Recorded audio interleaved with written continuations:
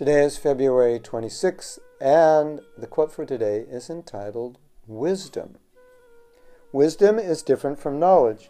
It comes from applying knowledge and from intuition, paramatma.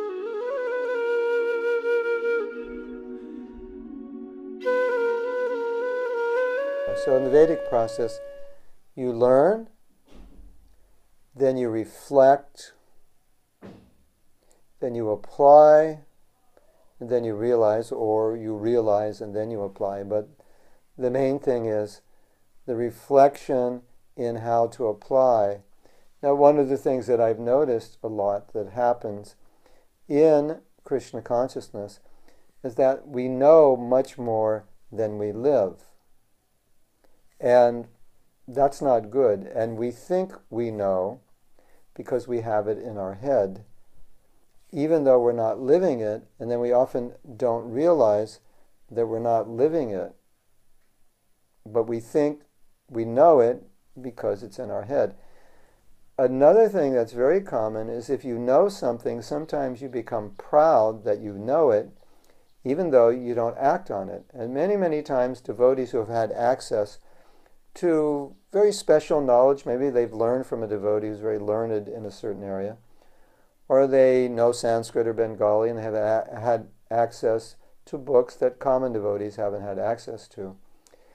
They begin to understand subtle aspects of Krishna consciousness or even general areas of Krishna consciousness that are not commonly understood by devotees in general.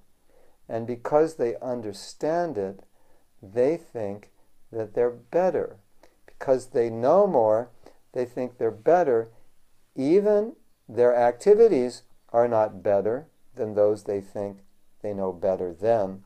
So it's an interesting it's an interesting thing to observe that now I know more and because I know more I think I'm better. Although my actions have not changed. Your actions are more Krishna conscious, but I think I'm better than you because I know more. So there's kind of a self-delusion in that we think that knowing is realizing and knowing is not realizing. And how do you know you've realized? You just look at your actions. We can say, Do you understand this? And you can say, Yes, I do understand it. And then I'll say, I don't think you understand it because I don't see you living it. I don't see you acting upon it. And until you live it or act upon it, I can't really say you've understood it. So that's the Vedic process. It's the realization, the application.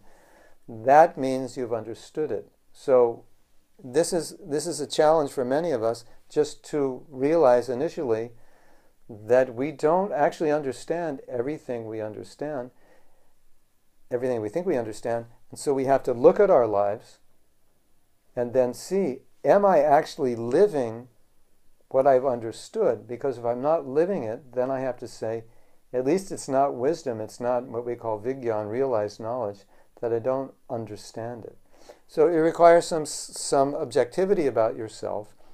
It requires the ability to, without ego, just look at my life and analyze it and say, do I really understand this? One of the prime examples is that so often we become upset by situations. Good, we become happy.